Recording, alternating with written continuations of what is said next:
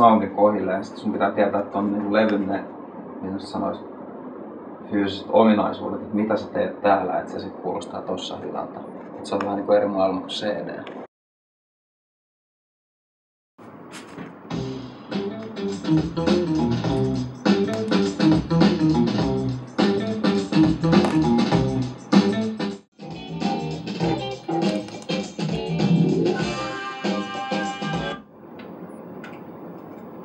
ole säädä. Laitetaan leveloitana päälle tai pyörimään ja nelivitoselle toi kierrosnopeus. Uran tiheys, uran syvyys. Käynnistetään. Pistetään toi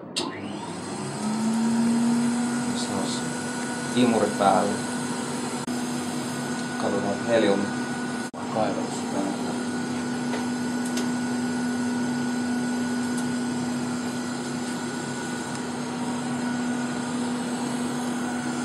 Tehdään vähän liidi, niin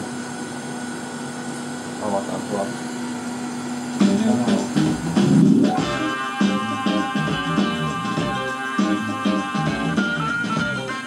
Se menee siihen. Siikaillaan täältä.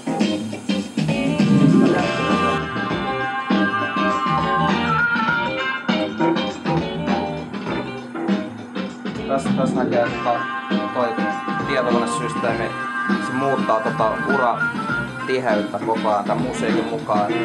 Nyt mä kaiveran niinku plus kolme tosta niinku referenssitasosta. Mä voin nost- nostaa sitä vielä. Ja kun lopetetaan, niin se loppuu ja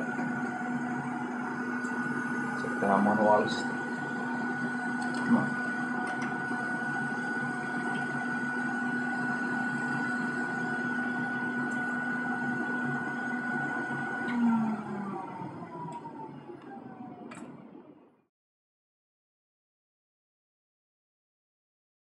you